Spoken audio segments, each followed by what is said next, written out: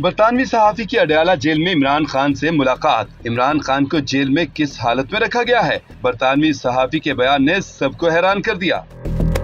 بانی P T I Imran Khan سے ملاقات کے لیے اڈیالہ جیل آئے برطانوی صحافی چارلز گلاس کو ملنے کی اجازت نہیں ملی۔ جیل حکام کی جانب سے انکار سننے کے بعد میڈیا سے بات چیت کرتے ہوئے برطانوی صحافی نے کہا کہ میں بانی پی ٹی آئی کے دوست کی حیثیت سے اڈیالہ جیل آیا تھا۔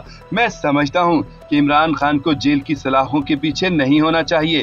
میں امید کرتا ہوں کہ عمران خان جلد جیل سے رہا ہوں گے۔ برطانوی صحافی نے کہا ہے کہ عمران خان سخت جیل کاٹ رہے ہیں۔ وہ اپنی بیرکس میں سورج نہیں دیکھ سکتے۔ عمران خان اپنے خاندان اور دوستوں سے ملاقات نہیں کر سکتے۔ وہ ایک مشکل انسان ہے۔ جیل میں کتابیں پڑھ رہا ہے اور عبادت کر رہا ہے۔ عمران خان جیل میں خود کو پاکستان میں ہونے والے ڈرامے کے لیے تیار کر رہا ہے۔